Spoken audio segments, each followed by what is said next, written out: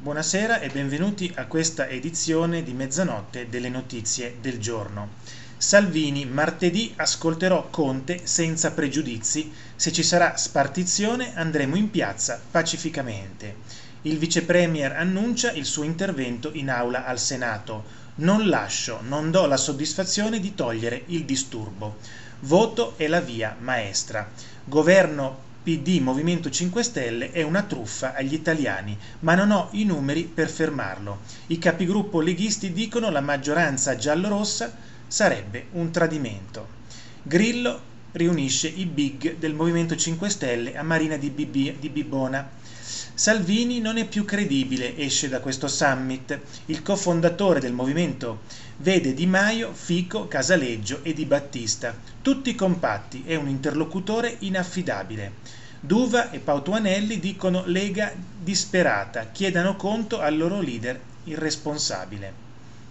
Sempre sulla crisi, Prodi per la maggioranza Ursula e Renzi lancia la Leopolda. Zingaretti prepara la direzione del 21.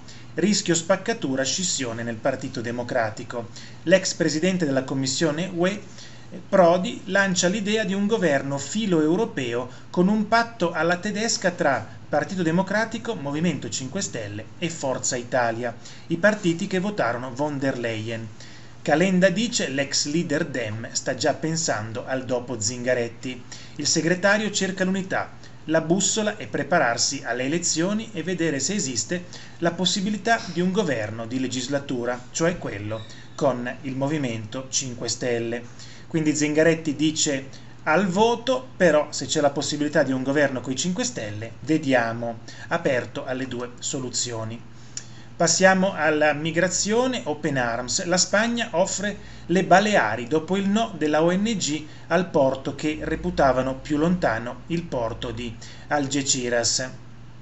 Si muove il governo di Pedro Sánchez dopo 18, 18 giorni di silenzio e propone prima lo scalo andaluso, poi cambia la scelta per accorciare i tempi di viaggio e per le polemiche suscitate appunto del sindaco di quella città che rimane sconcertato perché li mandano sempre da lui, dice.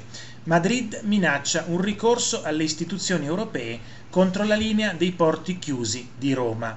Toninelli dice la Guardia Costiera italiana è pronta ad accompagnarli fino in Spagna, le Baleari. Salvini commenta inaccettabile il no all'offerta spagnola. Confermata la redistribuzione tra sei paesi dell'Unione Europea, la Francia ne ospiterà 40, ma solo se saranno riconosciute come ehm, rifugiati. Quindi probabilmente di questi 40 forse uno, due o nessuno saranno riconosciuti come rifugiati. Intanto la questione del, del, dei medici di Lampedusa e i medici eh, che sono saliti a bordo della Open Arms e hanno fatto scendere 13 persone, i medici di Lampedusa hanno riscontrato che solo uno aveva un'otite e gli altri non avevano nessun tipo di patologia, mentre i medici sulla Open Arms avevano parlato di gravi patologie cliniche. Quindi la Procura di Agrigento, il procuratore aggiunto Vella, ha mandato la squadra mobile e dei medici come periti e il responso è che non c'è nessuna situazione sanitaria allarmante, non ci sono patologie che creano comunque una situazione di rischio. Caso Epstein, un filmato riprende il principe Andrea nella casa del finanziere a Manhattan. Il video pubblicato dalla Daily Mail risale al dicembre del 2010. Passiamo in Afghanistan, 63 morti e 182 feriti per attacco kamikaze a un ricevimento nuziale. Si aggrava il bilancio dell'attentato a Kabul, tra le vittime anche donne e bambini. I talibani negano il coinvolgimento diretto. Passiamo ad Hong Kong, un mare di ombrelli a Victoria Park per chiedere democrazia. Migliaia di manifestanti tornano in piazza per il maxi raduno contro Pechino. Per gli organizzatori hanno partecipato 1,7 milioni di persone. I, I, militari cinesi proseguono le esercitazioni antidisordini a Shenzhen. Trovato morto il turista francese disperto so, nel Cilento. Il corpo del giovane scomparso il 9 agosto scorso è stato rinvenuto in un dirupo nel comune di San Giovanni, a Piro. Erano arrivati Eh, dalla Francia 20 amici per cercarlo che adesso denunciano i soccorsi sono stati troppo lenti. Il turista aveva detto nella sua ultima comunicazione col cellulare mi sono spezzato le gambe ma non so esattamente dove mi trovo. Passiamo a Torino, uccide la moglie e poi si consegna alla polizia. Il 65enne italiano ha colpito la donna con un oggetto appuntito. Solo dopo qualche ora ha chiamato i carabinieri al 112. Muore travolto da un'auto pirata, fermato il conducente, era ubriaco.